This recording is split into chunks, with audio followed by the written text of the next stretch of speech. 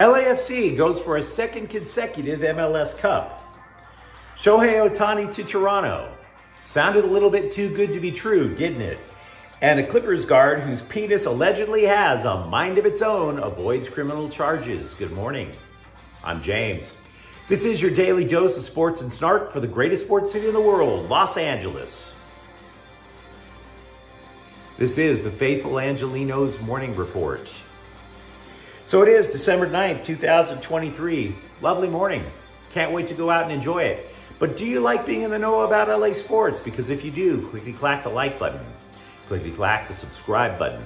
There's a notification bell. Hit that. It'll let you know we drop new content. Sharing is caring. Let people know we exist. And by all means, comment. I look forward to hearing from you guys. Now, before we go through the news and notes, a look at the scoreboard. Kawhi Leonard. Remember him? For all this last month or so, all we've been talking about when it comes to the Clippers is James Harden, Russell Westbrook, maybe a little bit Paul George. What about Kawhi Leonard? Well, Utah can tell you. Kawhi Leonard dropped 41 points on the smooth Jazz last night. Clippers 111, Utah 103. The Clippers are now over 500 at 11 and 10. Meanwhile, today, I want to do the scoreboard a little differently because I want to break down MLS Cup final. LAFC is at Columbus at 1 o'clock. The black and gold are looking for a second consecutive MLS Cup. Now, there aren't too many soccer scribes in the country, but they are listing all the cool little side stories first. And I get it, there are a bunch of cool little side stories. Is it Carlos Vela's last game with LAFC? Is it Giorgio Chiellini's last game anywhere?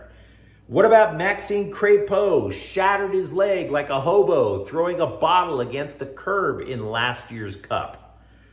They're all cool stories, but I'm focusing on the game because it's a terrific matchup, guys.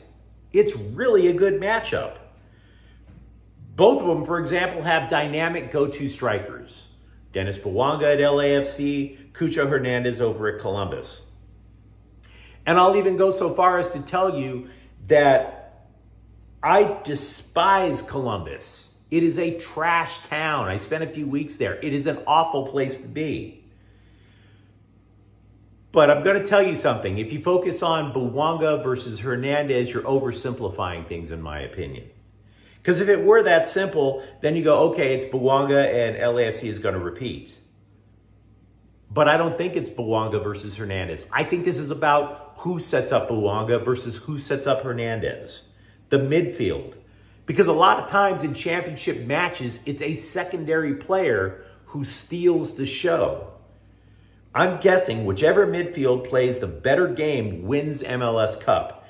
And there is no doubt, by the way, that LAFC has a quality midfield, at least in the starters. I'm not so sure about the reserves, but definitely the starters. But then you got the crew. Darlington Nagbe is pursuing his fourth MLS Cup. He's been able to do so for a reason, guys. The dude is absolutely unflappable. So if I were to make a prediction, and I don't trust myself with any predictions, because both teams have played with real grit. LAFC has played all year with a target on its back. The crew had to win two road games to get here, and last week had to come from two goals down to win. And I hate Columbus. But I think the crew's going to win. I, I could damn sure be wrong, no question about that. But here are the two reasons that I think the crew are going to win. Columbus is at home. That's definitely one. And the other reason, LAFC has had two other shots to lift a trophy this year, and they whiffed on both. That's my belief. The Lakers are going to play Indiana at 5.30 in the NBA in-season tournament finale. Whoop de freaking do. And uh, UCLA is at Villanova at 5. The Kings are going to be playing at the New York Islanders at 4.30. Quinton Byfield has five goals in his last six games, so there is that. Let's get back to the news. The story broke yesterday that Shohei Ohtani was on a plane bound for Toronto, which would obviously indicate that he was going to sign with the Blue Jays. And I got to tell you, the coverage was extremely weird. Everybody was overloading on Ohtani going to Canada. It, it was kind of like CNN just following the Trump plane as Donald went off to yet another criminal indictment, right? Kind of had that, oh, let's chase the white Bronco vibe from back in the 1990s. There was just something about it where it was like, this is a little too weird to be true. And of course, the story got debunked. Well done, scribes. Well done. And don't get me wrong. I'm not saying that this means Ohtani is definitely going to be a Dodger. I don't know where Ohtani's going to sign. For all we know, he likes Toronto. I've been to Toronto. It's a really nice place. I like Toronto. I had a lot of fun there. But what I want to do is if you're a Dodger fan, as I am, I want you guys to not blast the panic button because you would obviously want Ohtani on your team. But the Dodgers started the offseason building a contingency plan in case they didn't sign Ohtani. The reason that they re-signed Max Muncy was not to necessarily have him play infield. It's because they wanted him to play DH and mix in a little infield. It's one of the reasons that they signed Jason Heyward. The Dodgers, this again, the scribes have been profoundly wrong across MLB hot stove. We have had as many as 38 names of players that the Dodgers are allegedly going to move heaven and earth to get. The only one that they've hit on was Jason Heyward. A number of these other players have been crossed off the list. There's still 33 players left on this list. So again, the scribes are not like Moses walking down from Mount Sinai with two tablets. This is not holy writ. This is scuttlebutt chill. You have no other choice. And besides, even if Ohtani signs somewhere else, again, they've activated plan B just in case. You get Ohtani? awesome. You don't, you refill the holes in the infield, you refill your pitching staff. Plan B, plan C.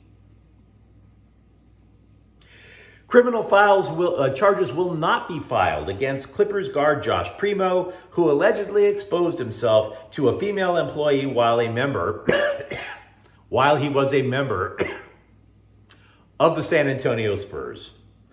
Primo was suspended for whatever he did. He never exactly admitted to what exactly happens when he gets tinglies in his dingly. But whatever he did, Rest assured, he says it was unintentional. Unintentional. Whoa, hey, looky here. How did my penis get out of my pants? Isn't that a fine how do you do? How does that happen in Texas? I don't know, but everything's bigger in Texas, am I right? You know how exciting the River Walk is. Josh Primo. Hey, man, at least he avoids jail, right? We've all done things where you sit there, you look back, and you go, damn, I should have been thrown in jail for that. Happens to all of us. So, anytime you can avoid jail is a good day. I'll give him that. But I'm not going to give him my sister's number. Um, Wide receiver Brendan Rice says he is going to leave USC and enter the NFL draft. He had a year left of eligibility. The dude scored 12 touchdowns in the nation. Very productive for the Trojans. That was seventh overall in terms of touchdowns in the nation for wide receivers. Also, obviously, the son of a receiver that you've heard of, so there's that. Rice is, oddly enough, this is a quirk, the second son of an NFL Hall of Fame receiver who's entering the NFL draft. The other would be Marvin Harrison Jr. of Ohio State. Also with USC, something that broke this morning, Dillon Gabriel was considered a possibility at quarterback via the transfer portal because he played at Oklahoma. You're assuming there's a connection with Lincoln Riley, some sort of relationship. Not happening. Dylan has decided to go to Oregon, and that is a big piece of the transfer portal puzzle. Gonzo. Meanwhile, I get that it's becoming super easy to pile on Chip Kelly. Everybody wants to pile on Chip Kelly right now. But I got to be honest with you, there is a reason. The UCLA recruiting class for next year is a legit concern. The Bruins have just 11 high schoolers committed for next year's class. 11. It's the 60th ranked class in the country. It's the 15th ranked class of an 18 team Big Ten. The only teams that are beneath UCLA, they all changed their coaches in the offseason, which means the incoming guy was already behind schedule in terms of recruiting. And oh, by the way, the only four star recruit UCLA had rescinded his commitment.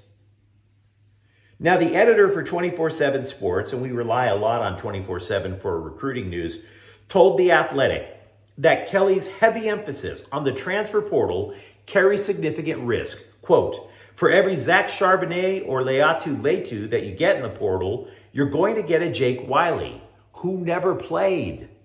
You bring them in, don't develop your youngsters, and your offensive line chases off a Dante Moore, unquote. Very succinct. It's a bullseye. That's exactly what I think, unfortunately, about UCLA football right now. CBSSports.com went through every NFL team and asked what is going to be their biggest need for next year. It's never too early to ask, I guess, is it? They acknowledge the Chargers have real problems with offensive skill, particularly wide receiver. The Chargers are second in drops in the NFL this year. But to them, the real issue is defensive tackle. Now, I don't know for sure if it's the biggest need, but there is an argument that you can make. Absolutely. Consider this as the possible reason that Brandon Staley has not been able to replicate the defense that he had with the Rams over with the Bolts. Aaron Donald at defensive tackle. I get it. Now, Aaron Donald is a unicorn. Aaron Donald is one of one. But you could ask yourself about the problems in the run defense. You could say if there was at least competence at defensive tackle for the Chargers, that that would even say pull one more person away from the edge, which would open up things more for Khalil Mack, for Joey Bosa, etc. Is it possible that the reason Brandon Staley's defense is not functioning is because of defensive tackle? Who plays defensive tackle? You never really know with the Chargers.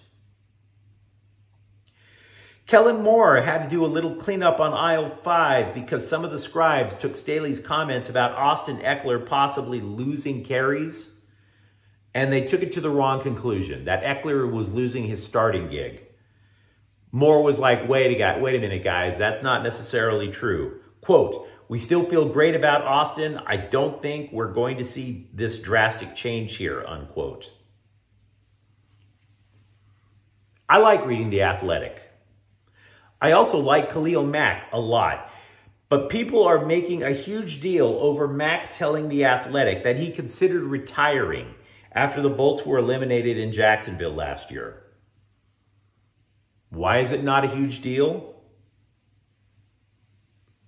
Because he didn't retire, right?